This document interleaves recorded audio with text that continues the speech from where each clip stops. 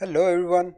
Today I want to show you how to add details on different surfaces like scratches on this metal here in Mixer 2020. I wanted to make this video because it took me a lot of time to understand the settings to achieve this effect and maybe with this video someone will be able to save his time. Mixer is a software from Quixel who are better known for the Megascans texture library. It is a free software that you can download from Quixel website and I will put a link to it in the description below. This video is aimed at intermediate users of Mixer so I won't talk about how to set up a scene in Mixer and what the controls are or how the interface works. So I have a low poly tire model here for which I have already baked the normals from the high poly mesh in Blender and I can quickly show you the high poly model. Here in Blender uh, this is the low poly model and this is the high poly. The high poly has about 20,000 polygons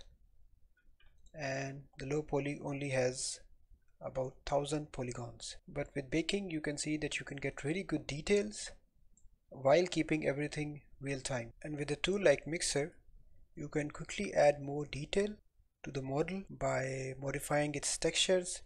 This detail can be more surface details like mud or scratches to the surface and it still keeps it real time and then these textures can be used with the model in a real-time environment like a game engine. So enough of the introduction and let's start. First I want to turn off these scratches and then I will show you how to add them. So add a new solid layer on the top and turn off albedo, metalness, roughness and occlusion and we only need displacement and normals uh, for the scratches. Now add a mask stack to the solid layer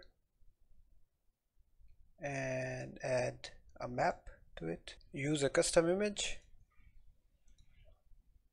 and select an image for your scratches. I have already downloaded an image for scratches from textures.com which is a very good resource for these kind of images and you can select it. To view this map directly uh, without shading press 9 and you can see that the scaling is not right so we need to change that first. This can be fixed by modifying the projection for this mask so go to filters and add a projection filter. Here we can change the repetitions to make the scratches look smaller and I think 4 is or maybe 5 is okay here. So let's go back to the shading viewport by pressing 1 and next I want the scratches to be visible only on the edges of this metal here. I will again go back to the mask view by pressing 9 and I use this a lot because it's easier to see what's happening with your masks really easily in this view. And you can also view it from here so layer mask. And this PBR metalness is your shading and layer mask is where you see the result of your mask stack. Now we will add a new mask in the mask stack and I want to add curvature. This curvature map was also baked from the high poly in blender and you can see that you can use this to really highlight the edges. And you can use the levels here to really get to the parts that you want to apply your scratches to. And now I will change the blending mode from normal to multiply. And now the scratches are only getting applied uh, at the edges of the metal. So let's go back to shading by pressing 1 and right now we can't see any effect of these scratches. We because we need to first change the blending options for this layer so that the scratches are uh, actually visible on the layer.